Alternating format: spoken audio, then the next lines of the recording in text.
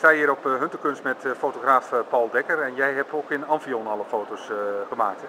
Ja, daar, ja. daar hangen er nu 20. Mm -hmm. 28 sinds gisteren.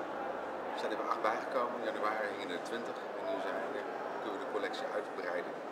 En hoe ben je aan die opdracht gekomen bij Amphion? Nou, ik, heb die, ik had het idee van die kubus en toen hebben ze die foto's gezien van mij.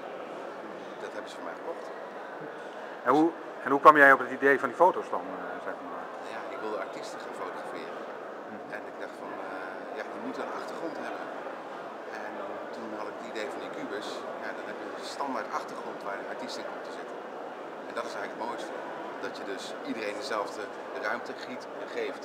En daar moeten ze zelf iets in doen. Hm. Dus eigenlijk het verschil van de foto is eigenlijk hunzelf. Hm. In een bepaalde houding. Ja. Dat is eigenlijk maar, maar, maar, dit is wel echt, dit, dit, is niet gefotoshopt, dit is echt Paul van Vliet die, uh, ja, die je hebt gefotografeerd. Het is helemaal niks gefotoshopt, helemaal puur. Ja. Ja, dat is een... Uh... En, en, Paul van Vliet vond ook gelijk dat het idee vond hij, vond hij uh, leuk, zeg ja. maar.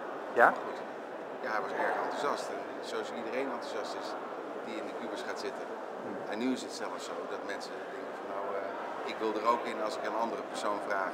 Als er vier gegadigden in een voorstelling zitten, er zit er één pak ik eruit, maar dat willen de anderen ook. Dus ja. het wordt gewoon een beetje populair. Ja. En, en is daar, eh, kun je daar goed je brood mee verdienen? Met. Nee, nee, dat niet. nee. Het is gewoon een project wat ik leuk vind om te doen. En dan hoop ik hier wat aandacht mee te krijgen. En daardoor mijn andere projecten te gaan doen. Volgend jaar wil ik een nieuw project gaan doen, vertel ik nog niks over. Hmm. Maar volgend jaar op Hunterkunst sta ik met iets totaal iets nieuws. Ja. En wat doe je dan, uh, zeg maar, uh, je, bent, je bent kunstenaar, fulltime kunstenaar? Nee, ik ben fulltime hoofdtechniek bij de Schouwburg. Oh. Dus daarom is het ook heel erg makkelijk. Ja.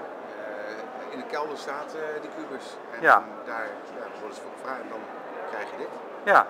Hey, hartstikke leuk. Dus okay. je bent van, van hoofdtechniek, zeg maar, fotograaf en je wilde toch... En volgend jaar ga je weer iets heel anders doen. Ja, precies. Maar niet, niet op het gebied van fotografie?